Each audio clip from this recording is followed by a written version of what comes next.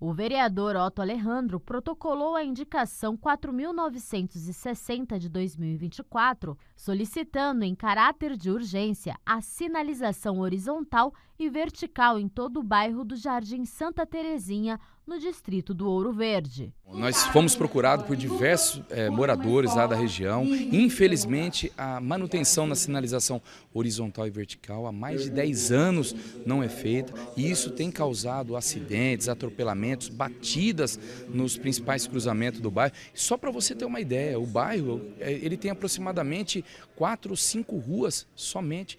Além da segurança, a sinalização traz orientação e organização para a população.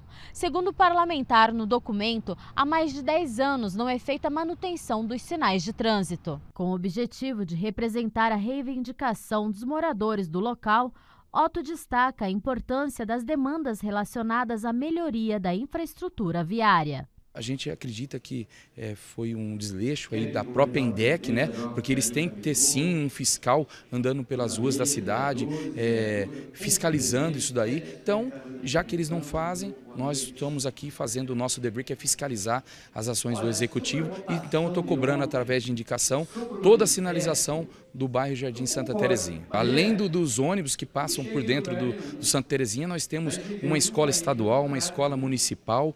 Então, tem que causado vários acidentes lá, então a gente está pedindo em caráter de urgência essa sinalização aí. Só para você ter uma ideia, dentro de, dessas ruas do bairro, eu acredito que tenha quatro ou cinco lombadas que estão 100% apagadas. Então a gente está cobrando para que seja feito quanto antes essa manutenção.